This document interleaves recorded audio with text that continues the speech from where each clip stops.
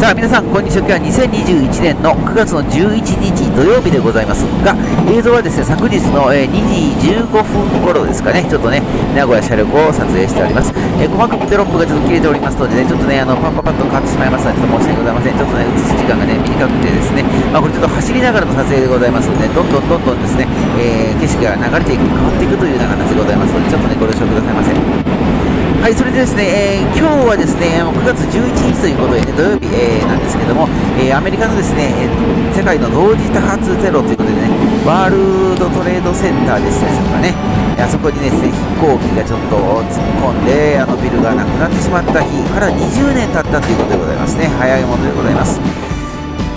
ね、あの当時私もね、まあ、20年前なんで若かった、当然若かったもんですからね、そんなにね、あのえー、大変だなと思ったものの、今みたいに心をね、すごく痛めることがなかったもんですからね、その分ね、あの人間だけ成長したのかなというふうに考えております。さあ、えー、映像はですね、9月11日の朝のですね、名古屋車両区でございます。今日のですね、飛騨号については、飛騨3号が1両増欠、それから、えー、飛騨5号と飛騨9号がそれぞれ2両増欠という形でやっております。えー、全部ですね、一応ね、飛騨、えー、どうでしょうかね、今日映してのは飛騨1号、飛騨3号、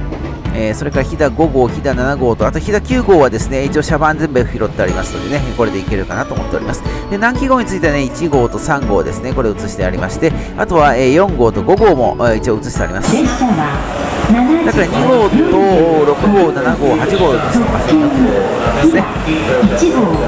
さあ、えー、飛騨1号、高山駅でございますね。この列車は岐阜、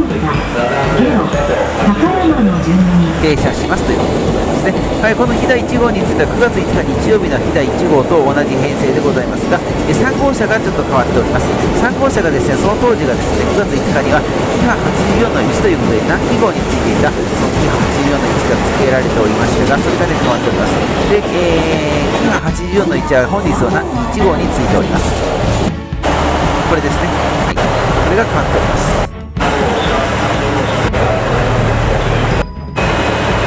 はい、その当時はですね両端のねあの1号車、4号車が下、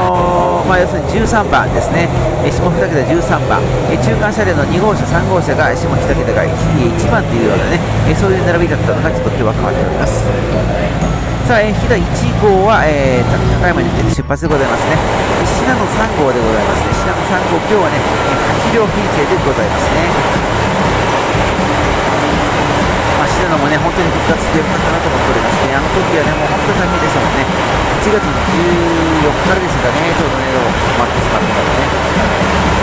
平坊もね、確かその時ちょっと2、3日詰まっておりましたよね。なんかちょっと大変な時がありました。今日はね、信濃はこのような編成が、えー、使われております。南紀1号でございますね。南紀1号の停車駅を今、えー、こうやってテロップで映しております。このテロップについては多分 HC85 が導入されたとしてもあまり変わらないんでしょうね。あと変わってくるのはここでしょうね。自由席が1号車、まだそれは変わらないんでしょうけども、指定席のところとか変わってくるのかなっていう感じですね。さあ、そのところ南紀1号が入ってきましたね。いつもの3両編成でございますね。まあ、これもね全部で南紀号は、えー、4編成で運用しているんですけれど4編成とも全てこの、ね、編成でございますのでちょっと中間車両をですね先頭車両に変えてもらって、えー、全てオール先頭車というような形でですね、えー、そういった編成でも転移してほしいなと思っております。それがですね、これに1両ですね、あのこちらに新潟浦側にもつないでですね、まあ、金85の0番台とかをですね、スライドつないでもらうとちょっとなりますから、ということでございます。なんか変化があるとね、また楽しいね、あの撮影になるんでしょうけども、ちょうどと段がね、まあ、どうしようかなと思っております。さあ、えー、今日の番号チェックでございますね。さあ、ここにね、金84の1がありましたね。これがね、先週の日曜日、9月5日第1号のね3号車に使われております松本篠野駅長野の順に停車します自由席は7号車8号車ですはい、今このね、信濃号のね、あのアナウンス、南紀号のアナウンスが同時に喋ってるんですけども、信濃号のアナウンスの声が大きいのはですね、確か10番線、11番線にもからっていうことですね、ただそれだけの理由でございます。12番線にいたら南紀号の、ね、そのアナウンスが当時大きくなるのは当たり前でございますね。がもうすぐヘッドランプがつくかなと思ってたんですがなかなかつかなかったんですけどね。ズームアップをするんですねさあこれで、えー、ヘッドライトがつきまして方向転換が終わりまして1号はこれで出発でございますね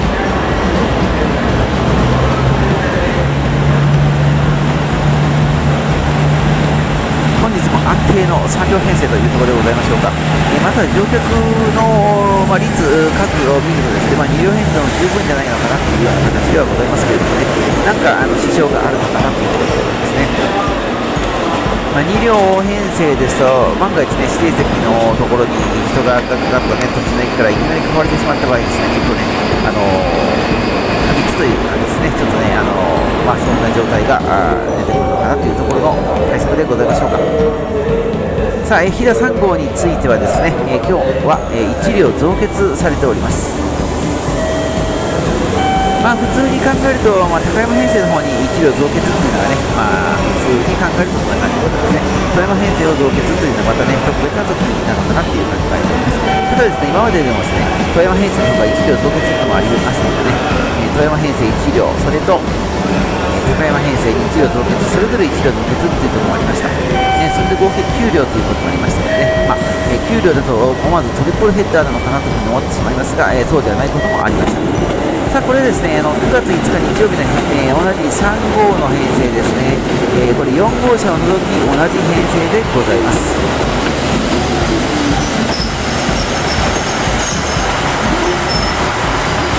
はい、これですね、9月の5日の時は、今85の1116でしたね。今日は117がついております。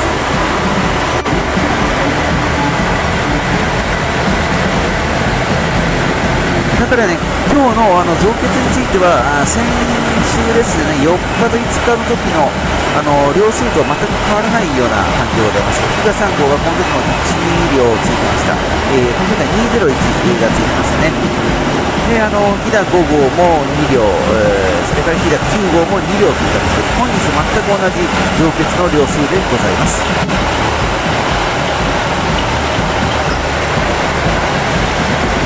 富山編成でございますね。富山編成も展示してあります。ね、あの、その9月5日の日曜日の富山編成とはちょっと違う編成でございますね。さあ、後ろに映っている、この3位先、これが G18 分発の富山行きの途中でしょうか。これの計はですね、企画をするでございます。今日はですね、211、これは5000番台でございます。0番台ではございませんね。ちょっとダイソーでございましたね。さあ、一旦、えー、家ね、帰りますということでね、快速三重鳥羽雪1号。本当にね、雨なのでね、ちょっとね、あの、映せなかったら困るなと思いつつですね、ちょっとね、あの、スマホでね、ちょっと映してあります。えー、なかなかね、スマホの方が暗い時はね、映りやすいというような形でね、そういうスマホなもんですからね、ちょっとこちらを活用しております。先ほどは B4 編成でございますね。さあ、ここからが勝負ということでね、あんまりズームアップをね、せずに、ズームインをせずに、ね、やっております。で、ここの帰りのですね、こんにちは、名古屋車両区である程度、この番号が拾えてですね、確実に分かって、それで助かったなっていうところでございますね。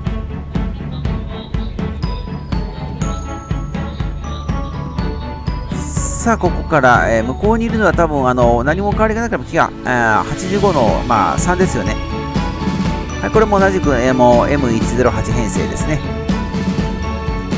でドックの中に向こう側ですね、2両のキハ85がいます。これなんとかギリギリ見えましてね、飛騨9号の増結車両でございまして、ここから拾ってあります。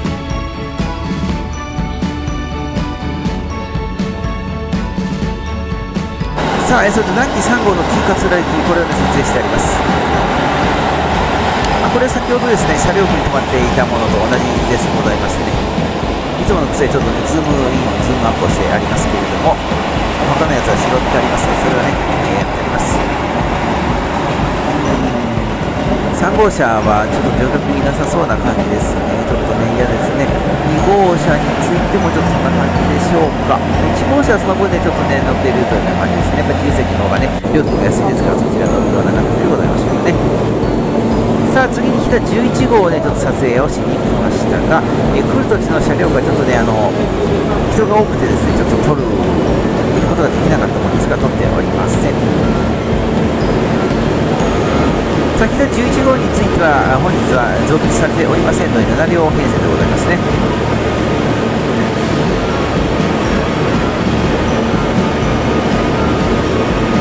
1号車から4号車が高山止まり8号車から9号車が富山行きという形になります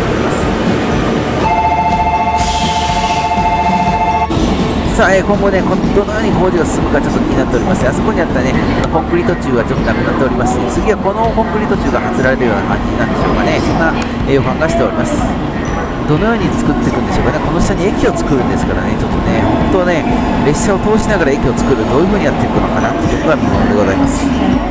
さあ、飛騨、えー、11号ですね、これ9月4日の飛騨3号編成と1号車以外ですね、高山編成、富山編成とも同じ編成でございますね。1号車だけで変わっております。あと、これを今映っている部分については全て同じでございますね。9月4日土曜日の飛騨3号と同じでございます。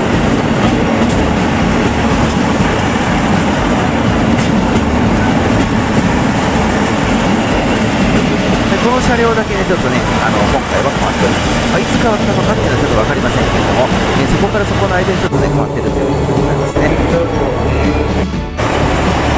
これもあとはね、本当に9月4日の13号と照らし合わせていくと、もう全く同じでございます。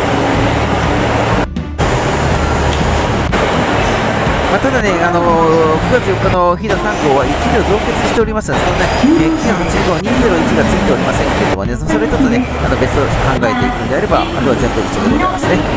さあ、えー、その間南紀4号名古屋駅が入線してきました。相変わらずこのね、スピードがちょっとスピードが速いようなですね。えお客様、えー、2号車は1人、3号車は多分ね、あのゼロじゃないかなということでございます。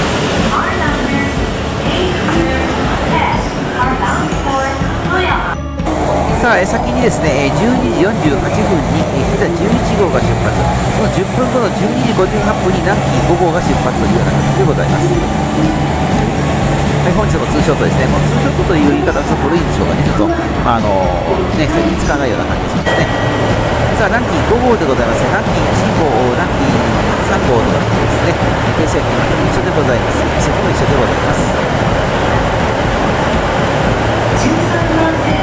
はい、さらにですね、このね、えー、列車の編成ですね、編成も全く一緒でございます。変わりません。編成変わってくるのは何人何号というところが変わってくるあと出発の時間ですね、それが変わってくるぐらいでございますね。まあ、先ほど、えー、出発しましたまだ飛騨11号がおりましたが、気にしないでいきましょう。さあ、今日はね、先頭が1111のこの編成でございますね。あと、こちらにもまだ飛騨11がおりましたね。しょうここでですね南紀5号が出発でございますさあ、えー、ここまででね今日の動画終了でございます。最後までご視聴いただきまして誠にありがとうございました。また明日までちょっと撮っていければと思っております。チャンネル登録まだの方はねぜひともしていただけると助かりますのでよろしくお願いします。それではまた会いましょう。さよなら。